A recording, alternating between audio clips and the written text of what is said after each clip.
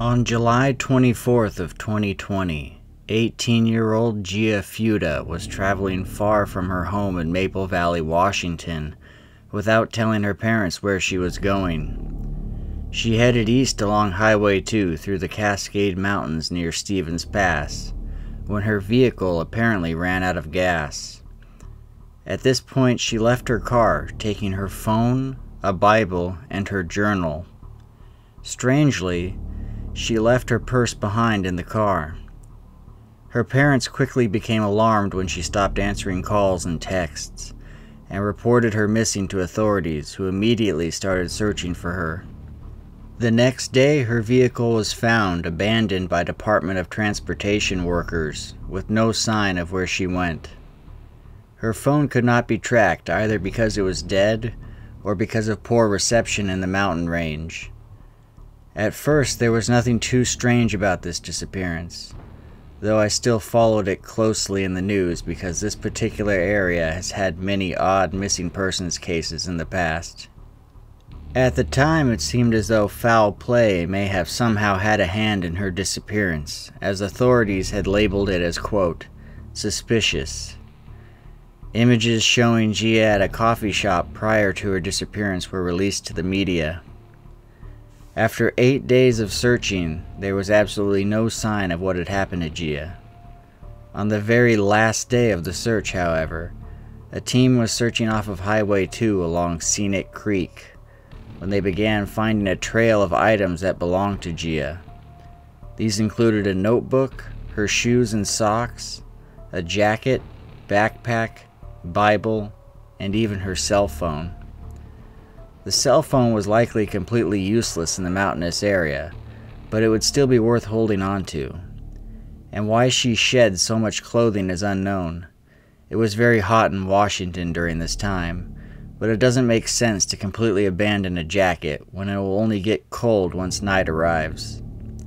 It makes even less sense to take off shoes and socks and be walking along a steep ravine barefoot.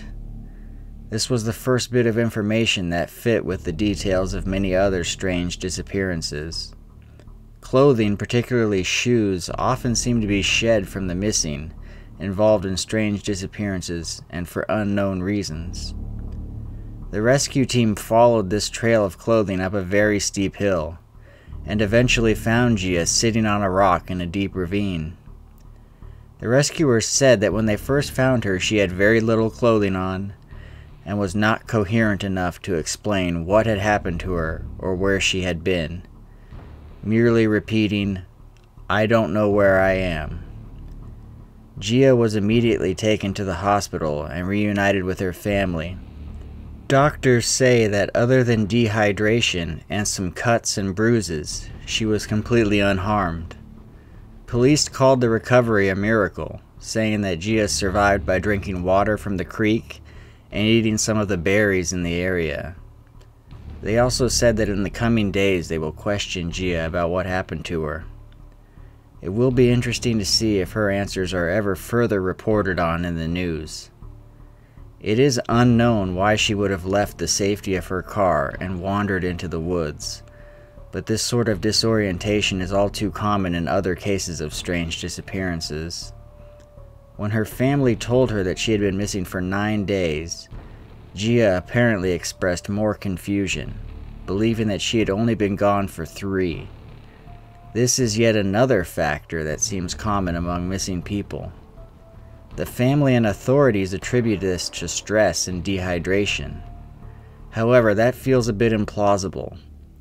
It is interesting how she was apparently suffering dehydration while being found next to a creek with water.